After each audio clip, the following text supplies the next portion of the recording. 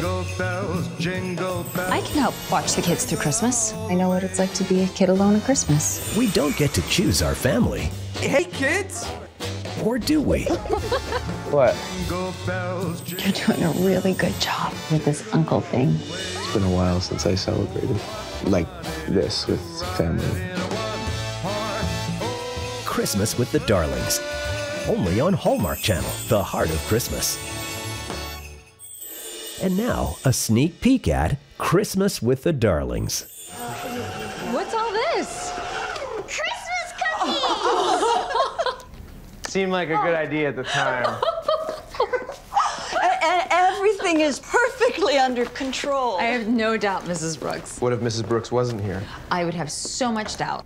Are you gonna join us? Of course. Where are the raisins? What?